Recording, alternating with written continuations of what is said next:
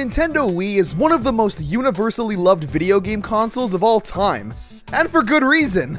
It had so many memorable and fun games, the motion controls were pretty fun at the time, and the soundtrack.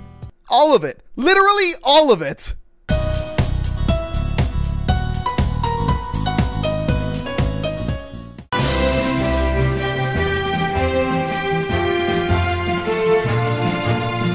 Wii has been covered by almost everyone on YouTube, talking about the bad shovelware, the memorable titles like Wii Sports, everything under the sun. So, what's there left to talk about that already hasn't been covered? Well, today we're gonna take a simple route and talk about the many channels that inhabit the Wii's home screen. I'm serious. This little title screen alone has enough power to hit me with a megaton of nostalgia. So please, join me as we take a walk down memory lane and its many Wii channels. So we start up our Wii and. Oh, baby! That's the good stuff. This has easily got to be the most pleasing menu on anything ever. It's peaceful music, bright and colorful channels. A++ plus Nintendo. The first channel we'll check out today is one that I personally rushed to when I first got my Wii, and I'm pretty sure I'm not alone in that sentiment. The Mii channel. Oh, baby, you have no idea how happy I am right now. The meme worthy Mii channel, or the meme channel.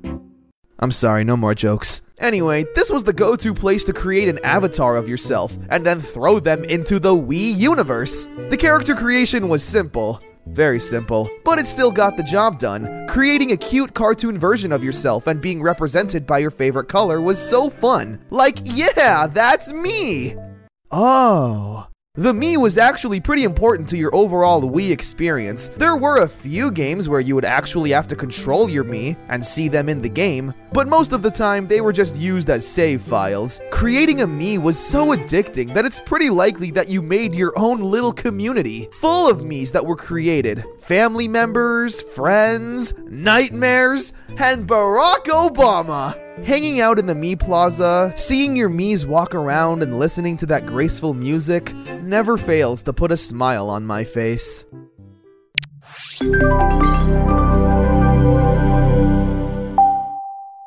Up next, we got the photo channel. This is where, uh. Oh, hold on a second. It's gotta load.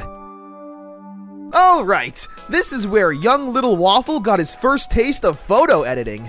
This is a really simple program. You'll have some pictures on an SD card and load it on your Wii. After that, you'll load up the photo channel and you can then edit your photos in pretty basic ways. I mean, come on, it's the Wii, it's not Photoshop. You can mess with the brightness, add colorful filters to your picture, or just simply scroll through them. After a vacation, my mom would always want to look at pictures she took through the photo channel, since the pictures would be displayed on the TV. But if you wanted to unleash your creative side, there were stamps you could put on the picture and even write on it using the motion controls which is totally harder than it sounds. There's even mini games, one of which includes your picture being broken up into pieces and you need to put it back together. Nintendo, why are you so charming? The photo channel is a place that I never would have thought I needed, but here I am, full of nostalgia over a simple picture editor. Alright, here's the.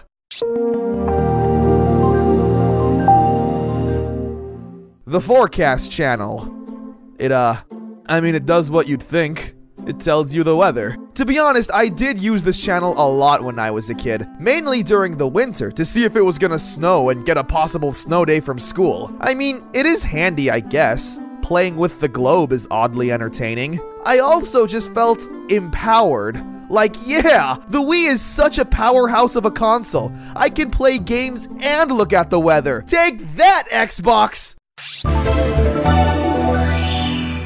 Oh, yeah, now we're talking. The news channel!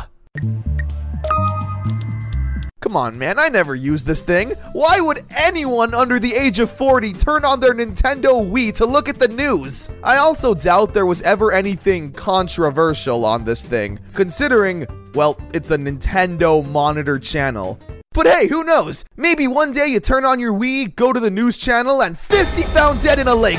Suspect still at large. Too much reading. 0 out of 10.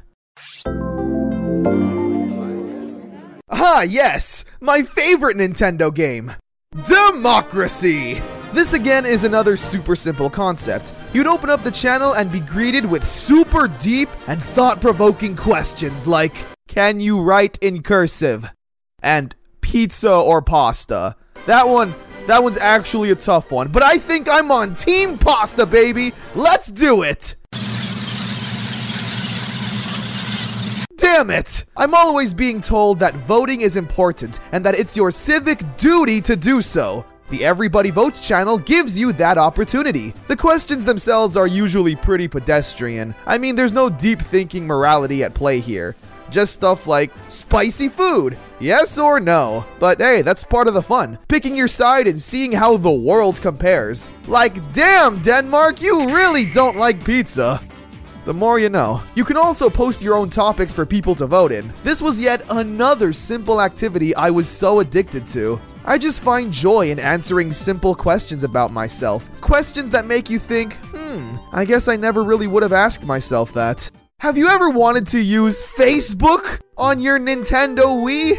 Well, I hope not, because the internet channel wasn't super good. I mean, it tried its best using the Opera web browser, which is a thing, I guess. It's pretty slow and laggy, but I do have one fun memory of it. One time I got grounded and my parents took away my computer, but I still needed my fix of YouTube and Facebook, since that's what 15 year olds did at the time. So desperate times called for desperate measures, and secretly used my Wii to go on Facebook. Please don't tell on me, I'll get in so much trouble. Puns! The Check Mii Out channel is a place I visited pretty often when I wanted to fill up my Mii Plaza with Miis while also being incredibly lazy. The Check Mii Out channel was where users from all over the world could upload their Mii masterpieces to show off. I mean, someone made the Mona Lisa on the Wii. Leonardo da Vinci also made the Mona Lisa, but he's dead now. So the Mona Lisa is the only thing that matters. Man, I didn't realize just how many channels the Wii actually had. Let's do a little lightning round now to talk about the channels that I just didn't have that much to talk about.